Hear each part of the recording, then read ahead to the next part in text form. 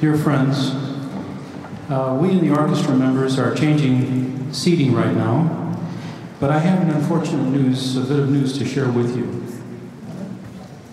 Jack Star, the founding member of our chorus, is in the critical care unit of the hospital on life support. I received a call from his son Kevin two days ago who said Jack had massive stroke and an aneurysm in the brain. Jack is a dear friend of the chorus, a great supporter and benefactor, who frequently uh, opens his home for special functions for the chorus. Jack, Rosalie's recently departed from this world, his wife, also loved having these functions and was a great lover of music.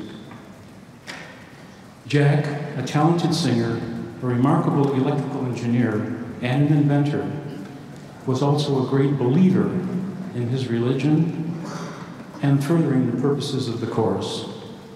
He is a member of the Tifereth Hebrew congregation here in San Diego. Jack, we are thinking of you and have you in our prayers.